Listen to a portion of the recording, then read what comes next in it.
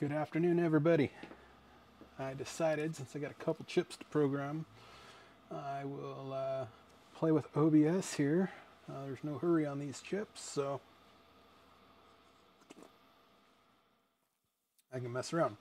Um, so we're going to be programming a couple hundred pin Xilinx CPLDs. These are an X2C256. I'll pull up the DigiKey data on these chips real quick here for you.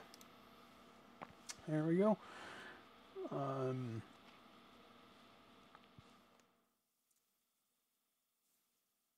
they are an XC2C256-7VQG100C. These cost about $50 a piece. So today we're going to be using the Xeltek Super Pro 6100N with a 100 pin quad flat pack adapter. So first thing we're going to need to do is launch the Super Pro 6100N software. It's going to come up unmatched adapter. That's fine because we will select a device. We will go Xilinx and choose the TQFP100 package. And this is a DX3021 adapter right here. This adapter. So I will leave that off because I got to put a chip in it. And I have to have steady hands to do that because it's a very fine pin pitch. So off camera here, I will drop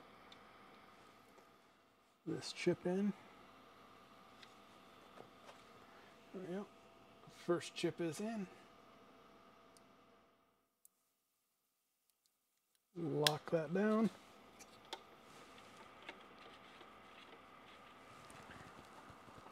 Hard to do this over the camera. Need to get a better camera. Okay, pull the software back up here. We are going to blank check. And we blank check. Just for sanity, we're going to erase. I'm going to blank check again.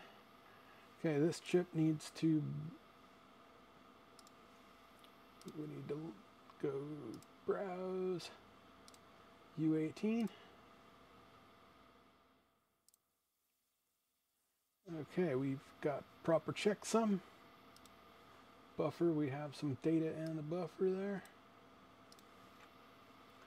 We will program.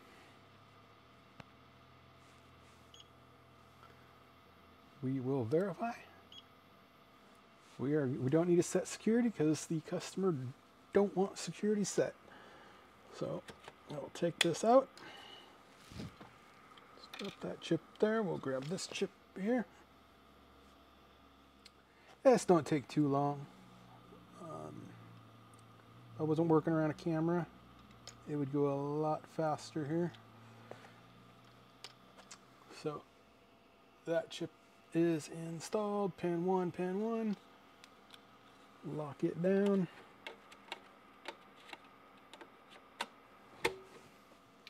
This is a U24. So we will put in a U24. We got the proper checksum. We will erase. Blank check. Just common. And then we will uh, program. Verify. Now if I hit blank check, it will fail. Okay. Now if I erase it, and then hit a blank check, she does good. So let's reprogram that. We will verify it. And job is done.